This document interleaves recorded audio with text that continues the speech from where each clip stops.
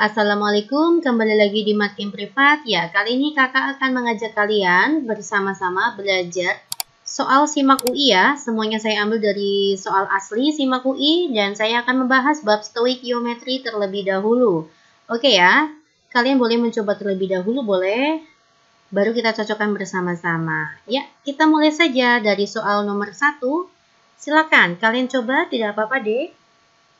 Oke, nomor satu. ACl2 ditambah dengan Na2SO4 menghasilkan BaSO4 dan NaCl. Oke. Apabila 50 ml 0,3 m BaCl2, saya masukkan ya 50 ml 0,3 m. Natrium sulfatnya itu adalah 50 ml 0,4 m mengikuti persamaan reaksi berikut yang belum setara. Kita setarakan terlebih dahulu ya.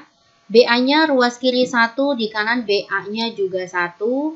Di kiri CL-nya ada 2, di kanan maka saya setarakan sedikit koefisiennya 2. NA-nya 2, NA-nya 2. Sudah setara ya.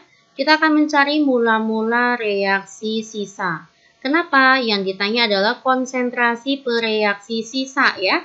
Ya, kita akan mencari molnya terlebih dahulu.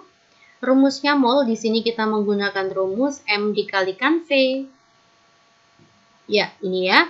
Yuk, maka untuk BaCl2 molnya itu adalah 15 milimol. Untuk natrium sulfatnya itu adalah 20 milimol. Maka nanti diperoleh mol pembatas. Mol pembatasnya siapa? Mol pembatasnya adalah barium klorida. Dia habis terlebih dahulu, ya. Agar habis maka saya kurangi 15 ya, habis bereaksi molnya lebih kecil. Berarti mol Na2SO4 berapa Mbak? 1 per 1 dikali 15. Ya, maka sini berkurang 15 milimol, maka bersisa 5 milimol ya. Jadi yang sisa itu adalah natrium sulfat. Nah, maka ini salah, ini salah. Yang benar Kemungkinan adalah C atau D atau E. Kita akan mencari konsentrasi sisa. Rumusnya itu adalah mol sisa dibagi dengan volume total. Mol sisanya adalah 5 milimol, volume totalnya itu adalah 150 tambah 50. Jawabannya 0,05 M. Pasti kalian bisa ya, ini bisa pasti bisa mencuri poin. Jawabannya adalah C.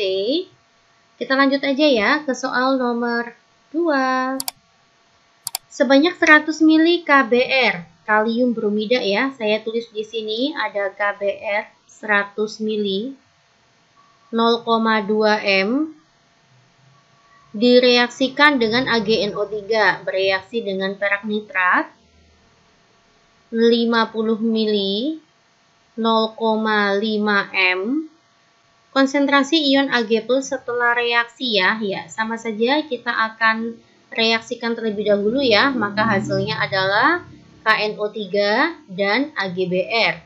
Begitu kan ya, Dek? Ya, saya akan buat mula-mula reaksi sisa. Mula-mulanya adalah 100 dikalikan 0,2 itu 20 ya. 20 milimol. 50 dikalikan 0,5 itu adalah 25. 25 milimol. Siapakah mol pembatasnya? Mol yang habis duluan itu adalah 20 ya. 20 biar habis saya ambil 20. Inilah mol pembatasnya.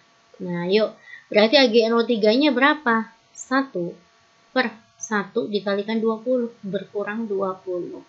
Maka nanti ketemu deh mol sisanya 5 milimol. Ya, konsepnya tentang reaksi pembatas ya untuk nomor 1 dan 2. Ditanya konsentrasinya, kita akan mencari dulu ya. AgNO3 konsentrasinya berapa Mbak? Rumus konsentrasi adalah mol dibagi volume total. Ya, 100 ditambah 50. Ini sama aja 1 per 30. Inilah konsentrasinya. Oke. Nah, AgNO3 terion jadi apa? Terion menjadi Ag plus dan NO3 min. Yang ditanya konsentrasinya Ag plus. Maka 1, ini kan koefisiennya 1 ya, per ini koefisiennya satu juga dikalikan 1 per 30 ya jadi konsentrasinya 1 per 30 M 0,033 ya. 0,033 M. Ya, adakah jawabannya? Jawabannya adalah poin D. Pasti kalian bisa.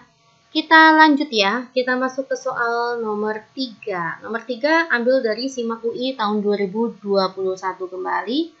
Ditanya adalah masa glukosa C6H12O6 yang mengandung 12 gram oksigen. Oke. Oke, kita bisa menggunakan rumus seperti ini, mencari massa unsur X dalam senyawa. Ya, maka nanti massa X adalah N dikalikan AR-nya X.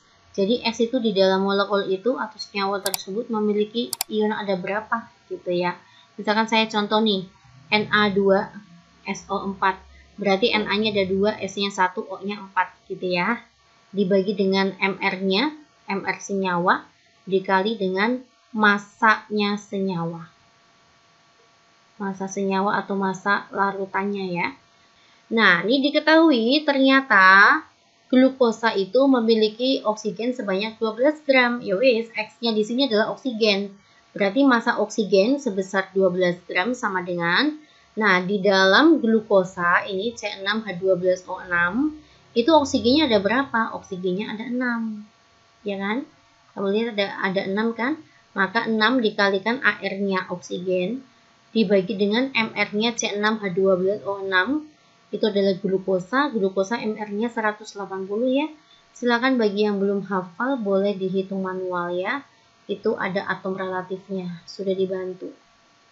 Oke, dikali dengan massa senyawa ya. Kita kali dengan massa masa glukosa ya. Di sini senyawanya adalah glukosa. Oke, 12 dibagi 6 itu adalah 2. 180 dikalikan 2 itu 360 ya. 360. Ini ada AR-nya oksigen itu 16 ya. Dibagi dengan 16 sama dengan masa glukosa. 360 dibagi dengan 16 adalah 22,5 ya. Diperoleh masanya glukosa adalah 22,5 gram. Ya, jawabannya itu adalah E ya. Oke, lanjut ya ke soal selanjutnya nomor 4. Reaksi pembentukan MgOH2 berlangsung mengikuti persamaan reaksi sebagai berikut belum setara, gitu ya. Oke, ini adalah soal SIMAK UI tahun 2019. Kita mulai ya ada Mg NO3 2 ditambah dengan KOH menghasilkan Mg OH 2 ditambah dengan KNO3 ya kita setarakan terlebih dahulu Mg-nya 1 Mg-nya 1 sudah sama ya. N-nya di sini ada 2 ya. Maka ruas kanan kita kasih koefisiennya 2 K-nya ada 2 kita masukkan sini koefisiennya 2 udah setara ya dik ya? Ke dalam labu dicampurkan 50 ml MgNO32, kita masukkan 50 ml 0,2 M. Oke, dimasukkan ke dalam KOH 50 ml 0,3 M. Berapakah konsentrasi sisanya? Nah, ya, dari sini kita bisa menyimpulkan ya, di tahun 2021 stoikiometrinya itu sekitar tentang mol pembatas ya. Ini di tahun 2019 juga mol pembatas, Dek. Jadi kesimpulannya adik bisa menentukan mol pembatas ya. Kita cari molnya M kalikan V 50 kalikan 0,2 itu adalah 10. 10 milimol. Ini berapa dek? Ini adalah 15 ya, 15 milimol. Manakah mol pembatas? Mol pembatasnya itu adalah KOH. Nah, ini KOH mol pembatasnya. Hati-hati ya, loh ini kan molnya lebih gede mbak. Nah, mol lebih besar belum tentu sebagai mol bersisa. Ya, kita lihat caranya kayak gini deh. 15 dibagi 2 itu adalah 7,5. 10 dibagi 1 itu adalah 10. Kecilan mana? Kecilan 7,5. Maka mol KOH itu adalah mol pembatas. Begitu penentuannya ya. Ini hanya untuk surat-surat saja. Yang tadi hanya untuk menentukan. Nah, oke. Okay. Agar habis saya kurangi 15. Nah, inilah mol pembatasnya ya. Yuk sini berkurang berapa? MgNO32-nya. Kita gunakan koefisien, sini koefisiennya 1, maka 1 per 2 dikalikan 15, maka berkurang 7,5. Ya, 10 dikurangi 7,5 adalah 2,5. Inilah mol sisa ya. Jadi yang bersisa itu adalah MgNO32 ya. Berapakah konsentrasi sisanya? Rumusnya konsentrasi untuk sisa adalah mol sisa dibagi dengan volume total. Mol sisanya adalah 2,5, volume totalnya adalah 100. Ya, jawabannya adalah 0,025 M. Pasti kalian bisa ya. Kita lanjut ya ke soal nomor 5. Ini soalnya seperti apa? Amonium sulfat, saya ambil dari tahun 2019 ya. Ada amonium sulfat, saya tulis dulu ya, NH42SO4, merupakan garam anorganik yang sering digunakan sebagai pupuk. Jika suatu tumbuhan membutuhkan 19,6 mg N, ya berarti massa N di dalam Na2 di dalam NH4 2SO4 itu adalah 19,6 mg ya. Pertanyaannya, masa amonium sulfat yang dibutuhkan? Oh, ini juga hampir mirip ya dengan tadi berapakah sih masa glukosa ya untuk tahun 2021. Jadi untuk tahun ke tahun itu soal simak UI hampir mirip ya stoikiometrinya ya. Di sini saya lihat untuk stoikionya. Langkahnya sama ya dek, kita bisa menggunakan rumus seperti ini. Masa X di dalam senyawa itu rumusnya adalah N dikalikan AR-nya X dibagi dengan MR-nya, MR MR-nya senyawa yang kita MR-nya senyawa ya dikali dengan massa senyawa. Ya, oke. Okay. Ternyata di sini X-nya adalah nitrogen, Masanya nitrogen adalah 19,6. Nah, nitrogennya di dalam senyawa NH42SO4 ada berapa? Nitrogen di dalam amonium sulfat ada berapa? Ada dua nih. N-nya ada dua. Maka nanti 2 dikalikan AR-nya N dibagi dengan MR-nya amonium sulfat ya, NH42 SO4 dikali dengan masanya amonium sulfat masanya NH42 SO4. Ya, kita masukkan kembali angkanya ya, 19,6. 2 dikalikan AR-nya N itu adalah 14. MR-nya kita hitung ya. N-nya ada 2 ya. 2 dikalikan 14 itu 28 ditambah H-nya ada 8. Ditambah AR-nya S itu 32 ya. Ditambah oksigennya ada 4. 4 kalikan 16 itu adalah 64 MR-nya 132 ya, Dek. Kita masukkan 132. Lah nanti masanya NH42SO4 kita peroleh. Oke ya. Maka nanti masa NH42SO4 adalah kita hitung ya. 19,6 saya bagi dengan 14 itu adalah 1,4 ya. 1,4. 1,4 saya bagi dengan 2, itu kan 0,7 ya. Ini 2-nya hilang, ini adalah 0,7. Maka tinggal 0,7 saya kali dengan 132. Hasilnya adalah 92,4. Ya, kita masukkan ya 92,4 miligram. Inilah masa amonium sulfat yang dibutuhkan. Jawabannya apa deh? Jawabannya adalah B. Bisa ya? Iya, ternyata hampir sama nih dengan tahun 2021. Kita akan coba cek ya. Untuk soal selanjutnya saya ambil dari tahun 2019 juga. Stokiometri itu pasti setiap tahun ada ya dek. Kalian harus kuasai materinya.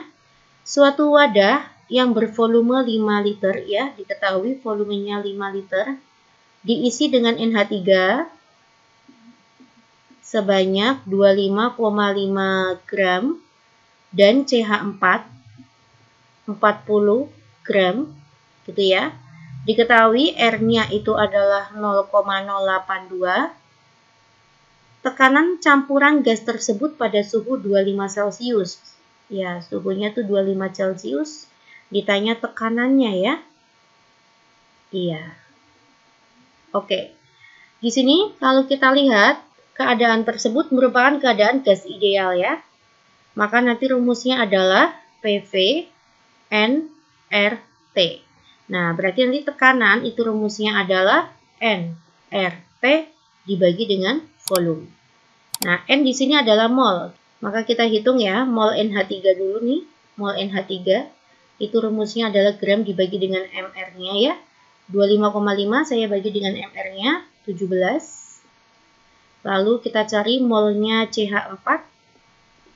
Uh, 40 ya ini ya, masaknya ya. 40 dibagi MR-nya 12 tambah 4 itu 16. 25,5 dibagi dengan 17 itu adalah 1,5 mol. 40 dibagi dengan 16 itu adalah 2,5 ya, 2,5 mol. Maka diperoleh molnya adalah 4 ya, 4 mol. Nah, kita bisa masukkan ke perhitungan. N-nya adalah 4, R-nya itu adalah 0,082. Jangan lupa suhu harus dalam bentuk Kelvin ya. Maka nanti kita rubah dalam bentuk Kelvin. 25 ditambah dengan 273, 298 ya. Ya, suhunya adalah 298. Volumenya itu adalah 5. Oke. Kita hitung ya. 298 dikali dengan 0,082 dikali dengan 4 itu adalah 97,744. Saya bagi 5. Hasilnya 19,549. Iya. Jawabannya adalah apa, Dek? Jawabannya itu adalah E. Oke guys, terima kasih perhatiannya. Jangan lupa ya, kita akan kembali lagi di video makin privat lainnya tentang soal-soal SIMAK UI. Kita intens ya bersama-sama belajar menuju SIMAK UI tahun 2022. Oke, Assalamualaikum.